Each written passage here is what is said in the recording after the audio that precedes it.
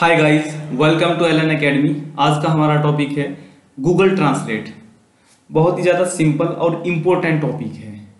उन सभी विद्यार्थियों या उन सभी लोगों के लिए जो इसके बारे में अभी तक जानते नहीं हैं। तो इस लेक्चर को पूरा देखिए, क्योंकि आज बहुत मज़ा आने वाला है। लेकिन शुरू करने से पहले आपकी तरफ़ से एक ही उम्मीद है मुझे कि आप मेरा वीडियो लाइक करोगे और चैनल सब्सक्राइब करोगे, अगर अभी तक चैनल सब्सक्राइब नहीं किया है।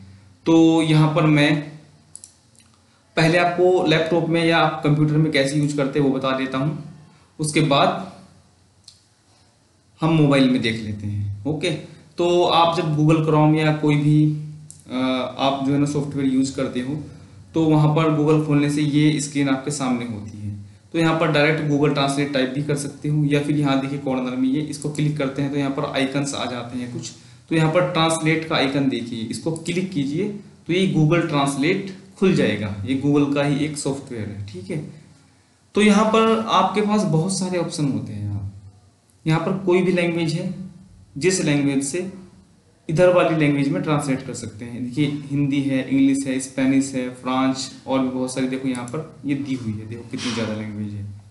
उर्दू भी होगी अरबिक भी होगी, मुझे लगता है यहाँ पर, वो देख सकते हैं ठीक है? तो यहाँ पर मैं इंग्लिश सेलेक्ट कर लेता हूँ। इस साइड में इंग्लिश और इस साइड में हिंदी है, देखिए यहाँ पर। वैसे यहाँ पर हिंदी की जगह और भी कोई ले सकते हैं हम। लेकिन हम यहाँ पर हिंदी से इंग्लिश और इंग्लिश से हिंदी ही देखेंगे।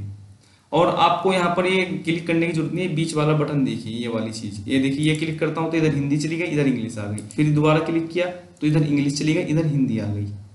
तो चलो, एक तो हमारे पास ऑप्शन सीधा टाइप कर लेते हैं हम। टाइप को एक वर्ड कर लेता हूँ, मैं कोई भी वर्ड ले लेते हैं eradicate E R A D I C A T E okay eradicate मैंने इसको यहाँ पर जो है ना कर दिया टाइप तो इसकी हिंदी आ गई, देखिए। लेफ़्ट में इंग्लिश है और राइट में क्या है? हिंदी है। उन्मूलन। ओके जड़ से उखाड़ना। पूर्ण रूप से नाश करना इरेडिकेट ओके इसको हिंदी में देखो देखो, कितने शब्द दिए हुए हैं। ओके इसके जो है ना, इसकी प्रोनाउंसिएशन अगर आप चेक करना चाहते हो, यहाँ से कर सकते हो। उन्मूलन, ये बोलकर बताएगा। देखिए, यहाँ पर इंग्लिश में लिसन देखो, इसको मैंने ऊपर रखा तो लिसन लिखा आ गया। इराडिकेट तो इसको जो है ना, ये बोलकर भी बताता है। अगर आप किसी वर्ड को पढ़ नहीं पाते हैं, वो नया वर्ड है आपके लिए, ठीक है? या फिर आप उसको बचपन से गलत पढ़ रहे हो, ऐसा भी हो सकता है तो क्लिक करके आप चेक कर सकते हो इसको। तो इसके जो लेफ़्ट साइड है, उसमें उसमें जो है ना इंग्लिश की आपकी डेफिनेशन देखिए डेफिनेशन ऑफ़ रेडिकेट बहुत सारी जो सीबीएसई बोर्ड वाले हैं जिनकी इंग्लिश अच्छी है तो वो यहाँ से इंग्लिश टू इंग्लिश भी देख सकते हैं। और देखो, बहुत सारे यहाँ पर आपको एग्ज़ाम्पल भी मिल जाते हैं देखने के लिए। ओके, अब मैं इधर देख लेता हूँ, इधर हिंदी वालों के लिए। ओके तो इसमें एक और इम्पोर्टेंट चीज़ मैं आपको बता देता हूँ, अगर आपको टाइप करना बोरिंग लगता है तो आप यहाँ पर बोलकर भी मीनिंग जान सकते हो। देखो, मैं इसी वर्ड को एक बार चेक कर लेता हूँ, ये मेरी वॉइस कैसे पकड़ता है। इरेडिकेट सुन लिया आपने? मैंने बोला इरेडिकेट तो इसने एकदम से पकड़ लिया मैंने टाइप नहीं किया इस तो उसी तरह सेम आ गया है। इसमें केवल आप एक वर्ड की हिंदी ही नहीं जान सकते। साथ साथ में आप सेंटेंस या पूरा पैराग्राफ को भी यहाँ पर कॉपी कर सकते हैं। कॉपी करके पेस्ट कर सकते हैं। ओके तो देखिए, मैं एक सेंटेंस बोल देता हूँ। I am going to Delhi मैंने क्या किया? एक सेंटेंस बोला और इसने इधर टाइप किया पहले और इधर हिंदी में ट्रांसलेट भी किया इसने। तो अगर आपको बोरिंग लगता है टाइप करना तो आप वॉइस टाइपिंग का यूज़ भी कर सकते हैं और इसको सुन भी सकते हैं। ये स्पीकर का ऑप्शन देखिए, यहाँ पे ये आइकन जो है दिख रहा है आपको इधर भी और इधर भी सुन भी सकते हैं। आपकी लिसनिंग स्किल भी यहाँ से अच्छी हो जाती है स्पीकिंग भी अच्छी हो जाती है। स्पीकिंग कैसे? क्योंकि मैंने बोलकर टाइप किया है। और स्पीकिंग के लिए बोलना ही पड़ता है। बार बार सेंटेंसेस को बोलते रहिए, आपकी स्पीकिंग अच्छी होती चली जाएगी। ओके और दूसरी एक इंपॉर्टेंट बात और भी यहाँ पर आपको कॉपी करके पेस्ट भी कर सकते हैं। ठीक है, मैंने ये खोल लिया यहाँ से, मान लेते हैं ये बुक और यहाँ से मैं कोई भी ये इन सेंटेंस में यहाँ से कॉपी कर लेता हूँ। मैंने ये कॉपी किया यहाँ से। कंट्रोल सी या फिर यहाँ पर जो है ना ऑप्शन भी देखता हूँ पेस्ट करके यहाँ पर इसको यहाँ से हटा देता हूँ। और कंट्रोल बी ठीक है, देखिए, आप ये ट्रांसलेट कर रहा है। ये क्या है कि इसने थोड़ा गलत तरीके से what is your educational qualification इसने थोड़ा गैप ले लिया, पता नहीं किस तरह से। आपका ए डी यू इसलिए सही नहीं कर रहा है। What is your educational qualification वो थोड़ा सही कॉपी नहीं हुआ से, लेकिन इसी सेंटेंस को अगर मैं देखो, यहाँ पर बोलता हूँ। व्हाट इज़ योर क्वालिफिकेशन आपकी योग्यता क्या है? ओके टाइप ही करता जा रहा है, क्योंकि जो मैं बोलता चला जाऊँगा, वो टाइप करता चला जाएगा। ठीक है ना? तो ऐसे ही हम कहीं से कॉपी करके पेस्ट भी कर सकते हैं। मान लेते हैं मैं गूगल में से कुछ और आपको दिखा दूँ। कुछ टाइप करके। चलो मैं गूगल खोलता हूँ पहले। ये गूगल है मेरा।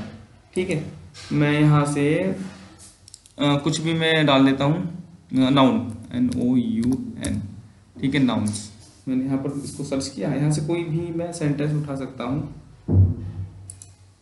यहाँ से in noun is a part of speech that name से person thing an idea of quality ये ये मैंने यहाँ से कॉपी किया। ठीक है ना? यहाँ से कॉपी किया।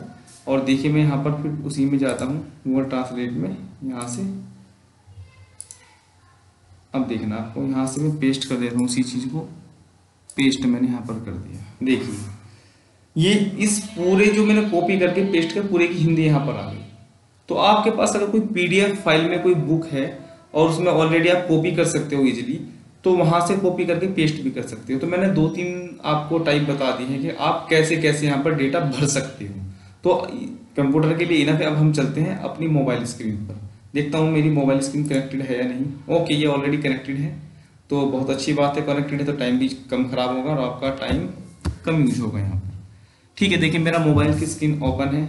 मैंने यहाँ से प्ले स्टोर से प्ले स्टोर आप जानती हो ऑलरेडी ये प्ले स्टोर होता है। देखिए ऐसे खुल जाता है। मैं आपको यहाँ पर जो है ना कहूँ तो यहाँ पर आप टाइप कर सकते हो गूगल ट्रांसलेट देखिए ऊपर। यहाँ पर इसको क्लिक कीजिए। और ये आप जो है ना गूगल ट्रांसलेट सॉरी